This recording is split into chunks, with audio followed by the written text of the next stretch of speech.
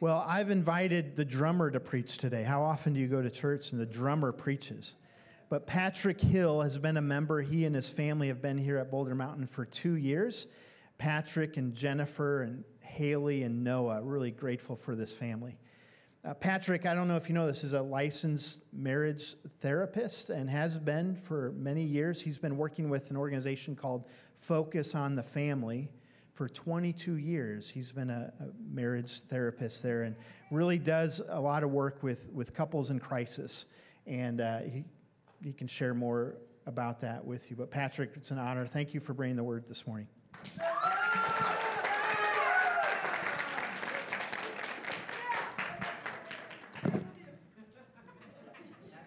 Groupies. Well, hey, good morning. Great to be with you. So, so last week, Pastor Kyle brought the first portion of, of Acts in the third chapter, verses 1 through 10, talking about the lame man who sat at the gate of the temple begging for the scraps that people would offer. Couldn't walk, born that way. We talked about how Peter and John walked into that space. The beggar asked them for something to eat. They said they didn't have any food to give, but they had something much better.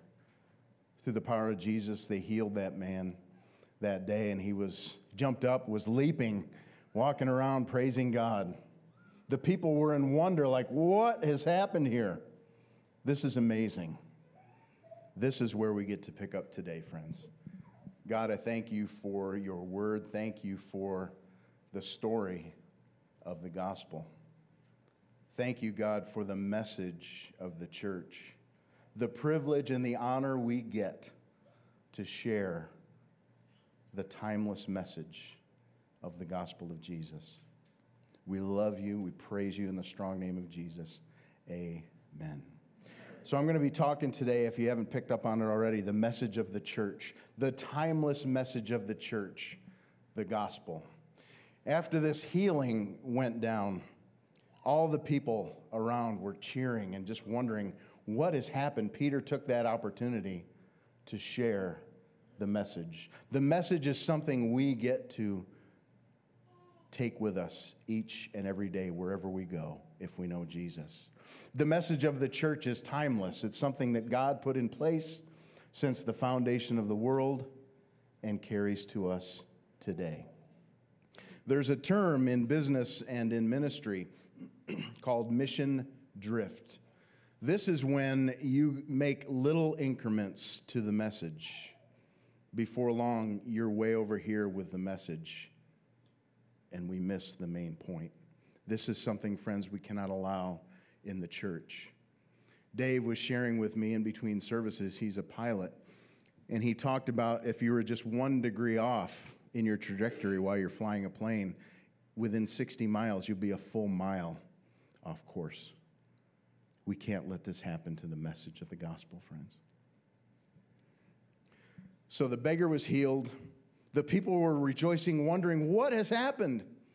Peter picks up in Acts 3, verse 11. While he clung to Peter and John, all the people, utterly astounded, ran together to them in the portico called Solomon's. And when Peter saw it, he addressed the people Men of Israel, why do you wonder at this? Or why do you stare at us as though by our own power or piety we made him walk? The God of Abraham, the God of Isaac, the God of Jacob, the God of our fathers, glorified his servant Jesus, whom you delivered over and denied in the presence of Pilate when he had decided to release him. So when Peter addressed the audience, he knew who he was talking to. The Jewish people knew the story. When Peter said, The God of Abraham, the God of Isaac, the God of your fathers, all the people in that space knew the story because it had been passed down from generation to generation. The Jewish people are very careful about the message. Back in the Old Testament, they had this practice of setting up stones piles of stones or maybe large stones. These were the billboards of the day. I remember Jennifer and I, after we had got married a little over 30 years ago, we were headed down to South Carolina. And if any of you ever made that trip from upstate New York down to South Carolina, as you're in North Carolina getting ready to go to the south, there's all these billboards about this place called South of the Border. A tourist trap, to say the least. But there was a billboard about every 10 yards. So by the time we got there, we had to pull over and go to this place. We've got pictures. We bought a bunch of junk that's probably long since gone. I will never forget the message. Stop at south of the border. Over 30 years now. Never forget that place. Joshua set up a standing stone. When the nation of Israel crossed over into the promised land, the land of Canaan, Joshua, before his death, the one who led them into this promised land, took the people aside in this place called Shechem. He wanted to give them a history lesson to remind them of all that they had been through as a people. 40 years in the wilderness, God was able to feed and to clothe them because of their disobedience. He reminded them of all the things that God had seen them through over the years. Reminded them that when we obey God, we will be blessed. When we turn from God, we won't be blessed. After he shared this passage in, in Joshua 24, he says this Now therefore, fear the Lord and serve him in sincerity and in faithfulness. Put away the gods of your fathers, those that they served beyond the river and in Egypt, and serve the Lord. And if it is evil in your eyes to serve the Lord, choose this day whom you will serve, whether the gods of your fathers, those that they served in the region beyond the river, or the gods of the Amorites in whose land you dwell.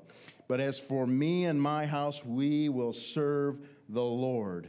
At that moment, he set up a large stone under an oak tree so that for generations to come, mommies and daddies could be walking their kids while they're taking the goat out for the morning stroll and look at that billboard and say, God did something here.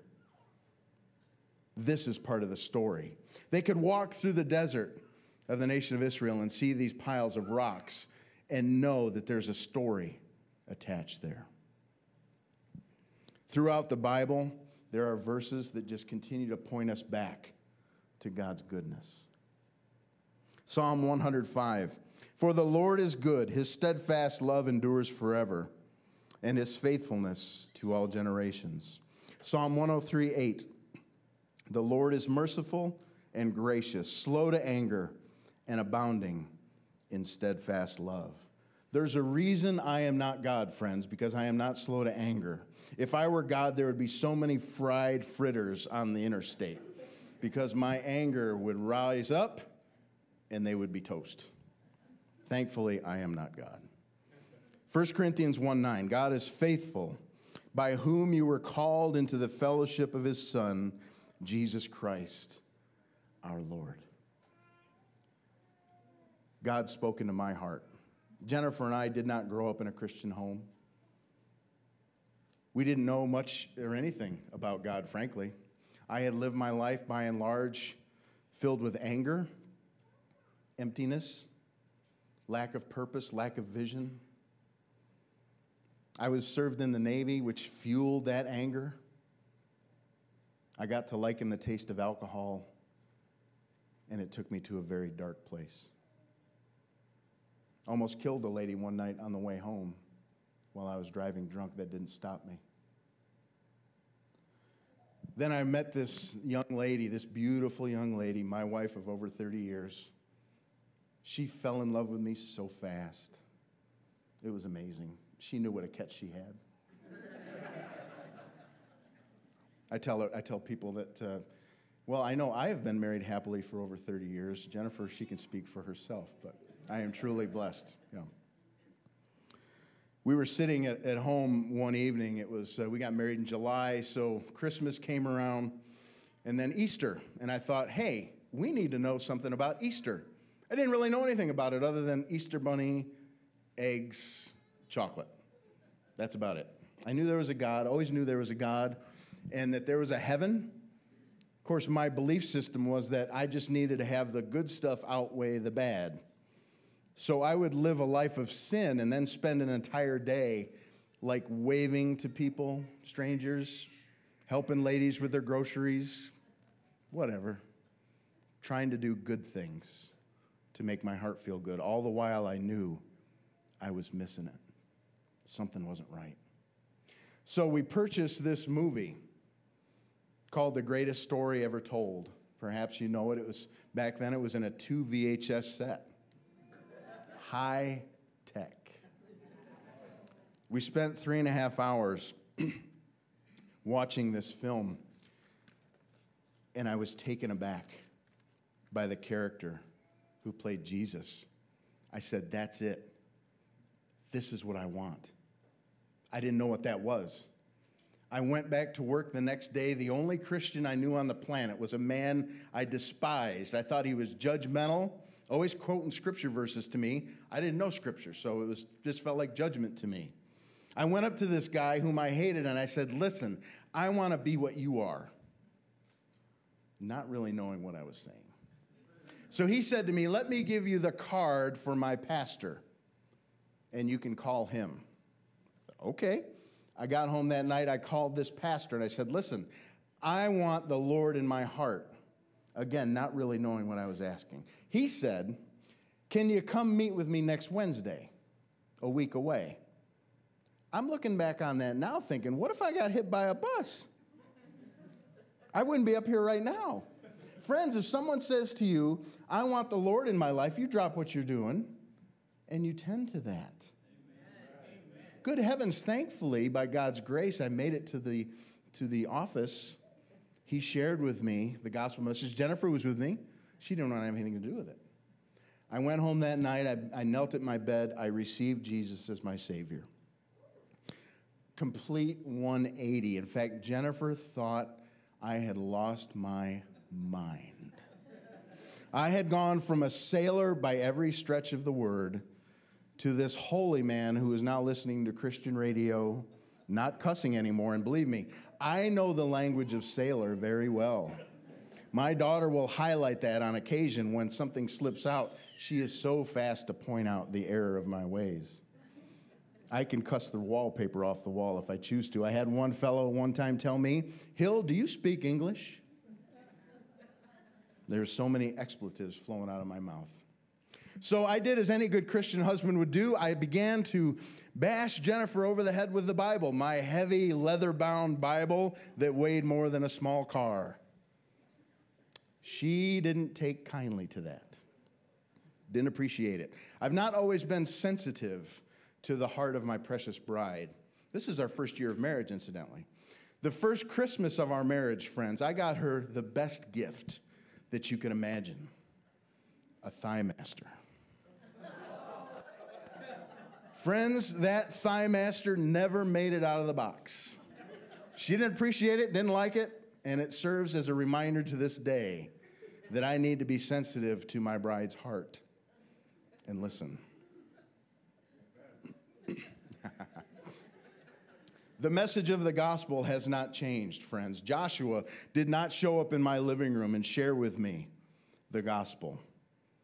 The Holy Spirit spoke to me through a movie, led me to someone who shared with me the story.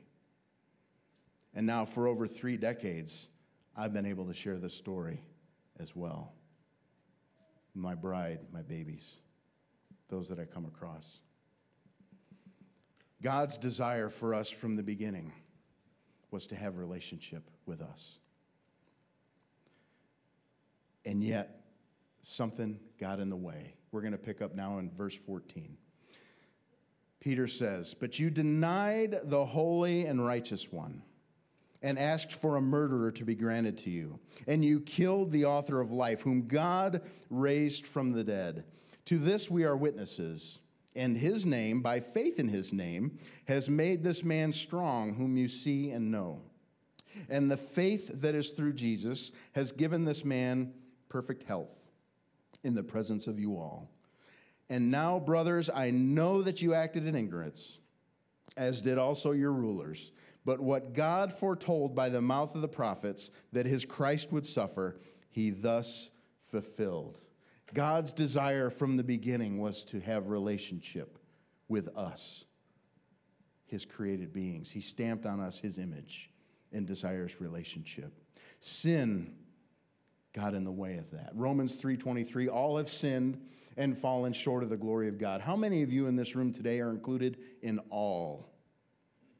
Oh man. Two hands. Paul says he is the chief of sinners and I say, "Oh no, hold my Dr. Pepper." the message of the gospel can be encapsulated in a single verse. John 3:16 God so loved the world that he gave his one and only son whosoever believes in him would not perish but have eternal life. That very Jesus who walked the earth was mocked, mistreated, scourged, beaten, spit upon, ridiculed, falsely accused and ultimately killed. We can look back on this today and wonder what were those people thinking? Boy, if I was there back then, things would have been different. We look at the nation of Israel and we wonder as we read through the Old Testament, what were they thinking? They had the blessing of God and then began to worship a golden calf. Are they stupid? I'd probably been doing the same thing, but it's easy for us to judge while we're on the other side.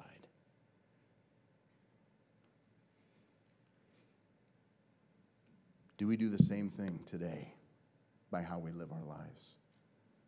We can come to church and have this experience and put that smile on our face. Have you ever experienced that smile? I'm fine. Everything's fine. All is well. When inside we're falling to pieces.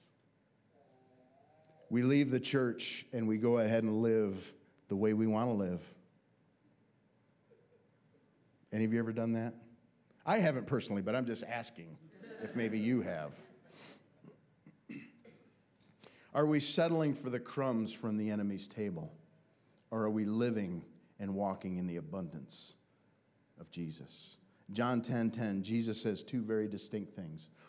In the first part of that verse, he says, The thief does not come except to steal, to kill, and destroy. The enemy of our souls seeks to steal the innocence of our kids. I'm looking down here at these beautiful teenage people. The enemy of our soul wants to rob you of the joy that can only be found in Jesus. He wants to destroy marriages and families, the very picture of the relationship between the bridegroom, Christ, and the bride, the church. He wants to rip apart families. In my role as a therapist, I see it all the time over and over and over again. When people have lost the sight of Christ, they go down roads that they never had planned on going. The enemy will pull you in, seduce you, and rob you of joy, peace, happiness, contentment. Isn't that what we see in the world today? Watch the news for three minutes. I can only watch the news on YouTube now because I can only take it in small bites. But can you not see it today, friends? Confusion, anarchy, hate. Every ill that you can imagine is laid out before our very eyes. We see it in this very town today. Jesus offers a different way. The second part of the verse, I came that they may have life and have it abundantly. 1 Peter 1 8. Peter says, Though you have not seen him, you love him. Though you do not now see him, you believe in him and rejoice with joy that is inexpressible and filled with glory. Joy that is unspeakable and full of glory. Have any of you ever experienced that? That's the kind of joy that doesn't paste a smile on your face. But if you get a flat tire in your old Volkswagen going down the highway, it's all good. God's got this. It's something that's deep down. That's what Jesus wants to give us. Are you living the abundant life today, friends? Do you know who you are? Do you know your identity in Jesus? Do you know why you're here? Do you know your purpose? What are you here for? Do you have that joy that is unspeakable and full of glory, and are you walking that out in the presence of your family, your friends, those that you have influence with at your job.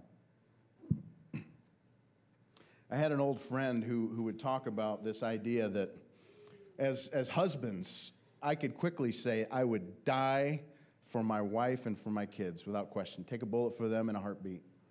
No question. But he would flip that around on me. He says, But are you willing to live for them? I can say I would die for Jesus, but am I willing to live for him? Or am I just going to go with the culture, go with my friends, go with the flow, because I don't want to be called out as some kind of religious fruitcake? I'm at the point in my life where I really don't care, so it's good for me, but maybe some of you struggle with that a little bit.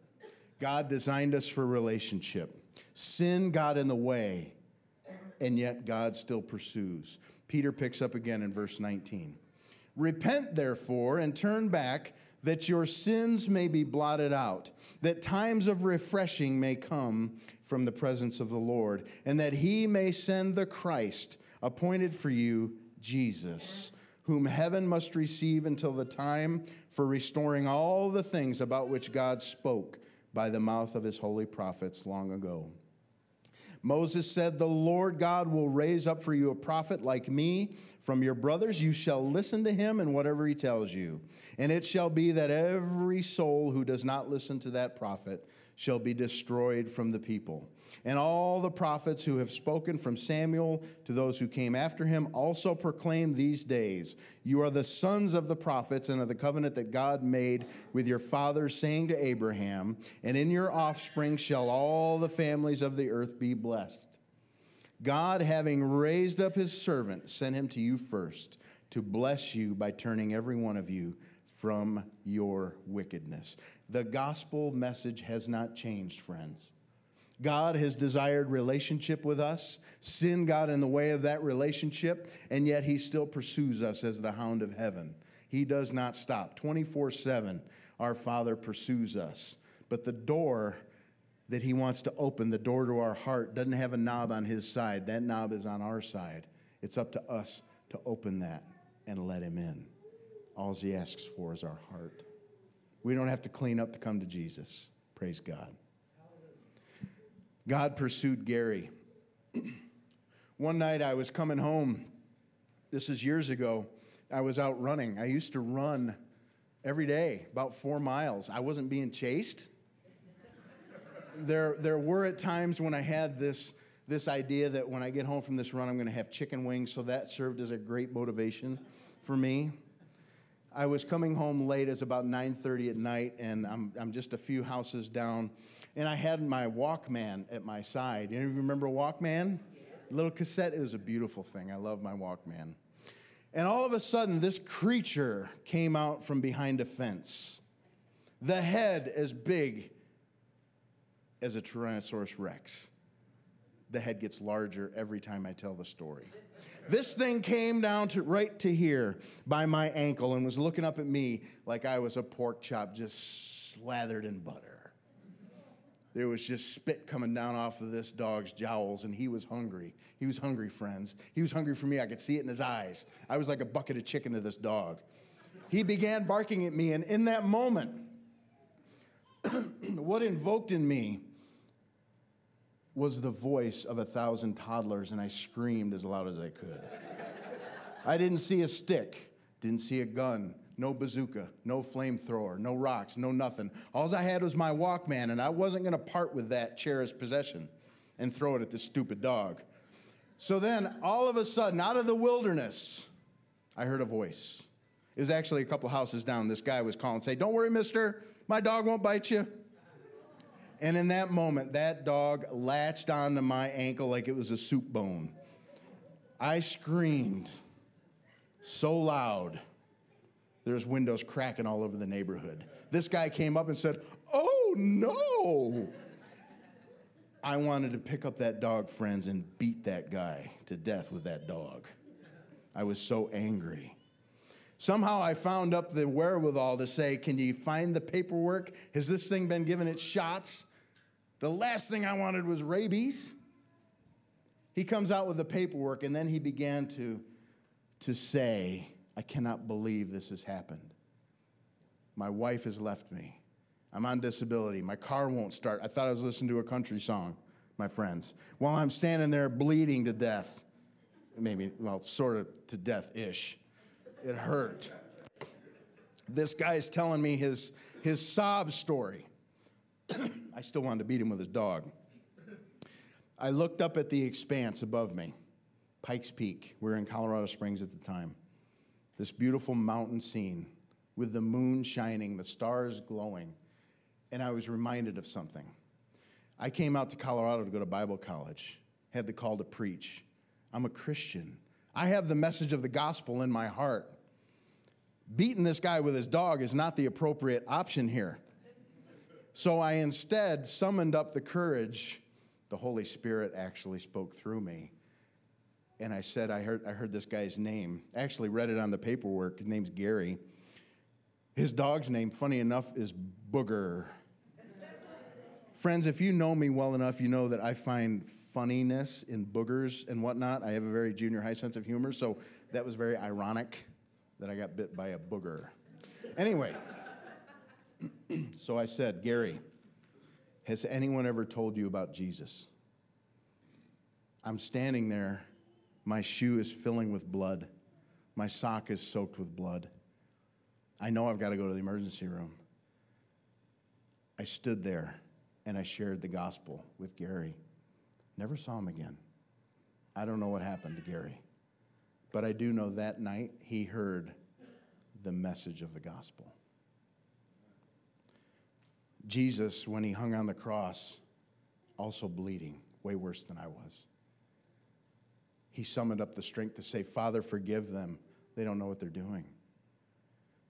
The thief on the cross was saying to him, Why don't you just call down the angels and zap these fools? You're supposed to be God. Get us out of here. Show these guys. And then the other thief spoke up and said, Listen, we're up here because we deserve it. He's done nothing wrong. He turned to Jesus and he said, Jesus, when you come into your kingdom, will you remember me? And Jesus told him, I'll tell you this day, you're going to be with me in paradise. The message of the gospel has not changed, friends, since day one. God created us on purpose, for purpose, created us for relationship. Sin got in the way of that. And God continues to offer us a way back to Him. This is the message of the church. This is the message we have been honored and privileged to share with others. We can't detract from the light or, or from the left. We absolutely must share the gospel in every opportunity God gives to us. First, we've got to know it ourselves, friends. We've got to be about the mission, about the message. So, what part are you playing today? Are you living the message? Are you living out of an abundance in Christ? Or are you settling today for the scraps from the enemy's table? You get to make the choice of how you want to design your life. Don't leave these doors today until you've made a commitment to that, my friends. Let's pray. God, I love you. Thank you for the message of the gospel, the timeless message of the gospel that we get the privilege of proclaiming here at Boulder Mountain through things like live nativity, through communion, through opportunities to connect at a local farm with kids. God, we get opportunities day in and day out to share the message. Help us to be faithful and true. It's a simple message and one that brings you glory and honor and saves the hearts of those people that you came and died for. We love you, God, and we give our hearts completely to you in the name of Jesus. Amen.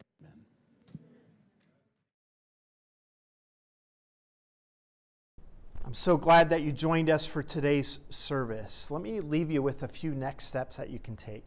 Number one, let us know that you're participating online. You can make a comment there in the notes. You can send me an email, or you can give the church a call. Just let us know. We'd love to add you to our email list that updates our people on what is happening in the life of the church. Number two, if there's something I can specifically be praying for you about, I can give that prayer request. I will pray for you, but I can also give that to our prayer team. A third next step that you can take if you've been encouraged by the ministry of Boulder Mountain, even though you've maybe never been here physically, uh, let me encourage you to give. We believe that giving teaches us contentment. When we recognize that God's been generous to us, so at Boulder Mountain, we give first, we save second, then we live on the rest. So there's an opportunity for you to participate in giving through our church website. If there's anything else that I can be doing for you or, or Boulder Mountain can do for you by sending you resources, simply let us know.